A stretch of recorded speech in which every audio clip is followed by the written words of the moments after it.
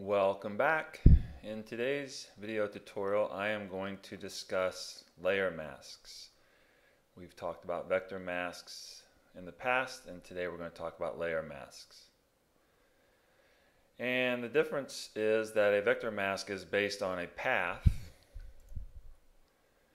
and a layer mask is basically based on pixels. So you paint with black or white on a layer mask and a vector mask is based on a path. All right. So we're going to use this path and we're going to turn it into a selection by command clicking on the name, control clicking on a PC. We have our marching ants. And there's a couple ways we can make a layer mask. This first mask, we're going to go down to the very bottom of the path panel. And you'll say see here that it says add layer mask so we'll click. And Photoshop adds a layer mask. Black areas will be hidden. They're not deleted they're just hidden. And white areas will be revealing the object.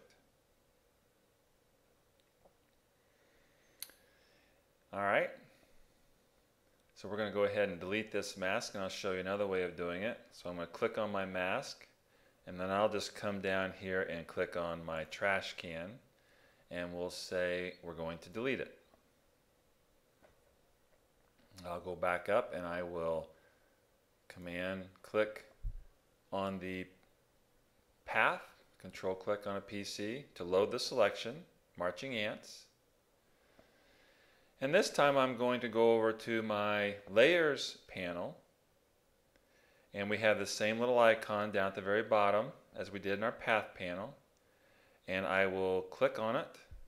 And once again we've added a layer mask. Black is going to hide, not delete, and I'll show you that in a second, and white is going to reveal. If you ever want to turn this layer mask off, we can do that by holding down the shift key and clicking on that layer mask. And now you can see we didn't delete anything. All we did was hide that background by painting in with black. And I will shift click to go ahead and show that mask. Alright, that's the second way of doing it. We'll get rid of this mask. Another way of getting rid of a mask is to right click on it and say delete the layer mask. I'm going to go back over. I'm going to command click, control click on a PC to load my selection.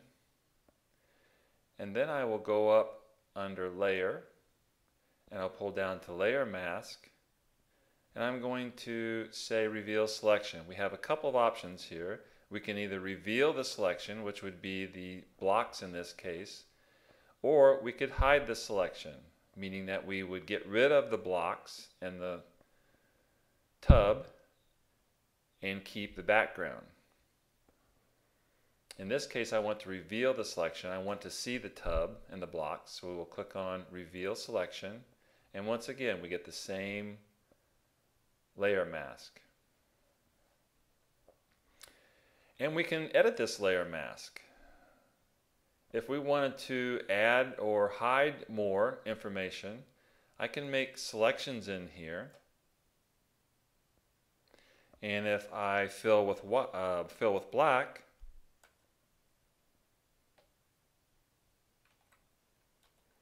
I can hide more information. And any selection tool will work in this situation. So I can cut holes. And now we'll see over here that our mask, here's my holes that I cut and my squares that I cut. And all I did was to show this mask was option click on my layer mask. So I'm hiding more information. And if I want to get that information back, I can go over here to my layer mask and fill it with white. Very simple.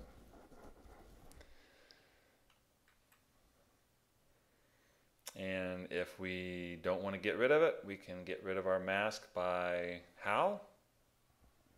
Yes, that's right. I heard someone say we can right click on the layer mask and say delete, or we can just drag that down to the trash can and say delete. Very good. Thank you for watching, and I will see you later.